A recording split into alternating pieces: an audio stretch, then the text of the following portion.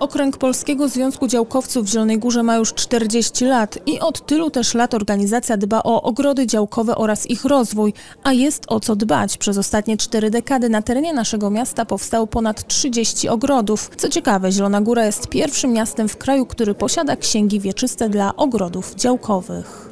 Są Polskiego Związku Działkowców i to jest gwarantem, że nie można zlikwidować ogród działkowy, trzeba uzgadniać i tak dalej, i tak dalej, i tak dalej.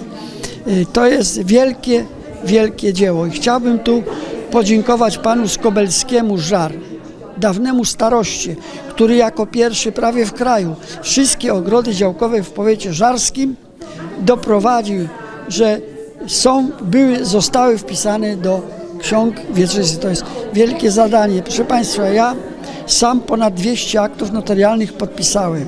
Ja byłem w sądach.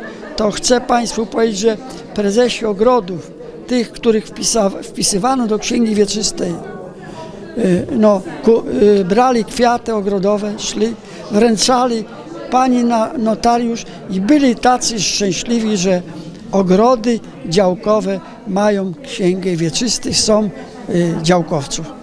Oznacza to, że deweloperzy nie mogą zająć terenów użytkowanych przez działkowców. Rozwój działek nie byłby możliwy również bez wsparcia magistratu.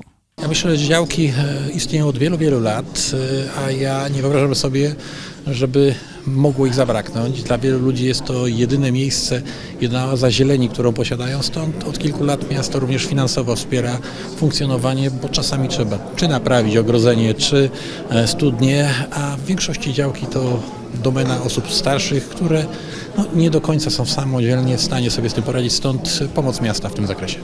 Dodajmy, że przez ostatnie 40 lat zielonogórscy działkowcy przejęli kilkaset hektarów gruntów pod ogrody działkowe.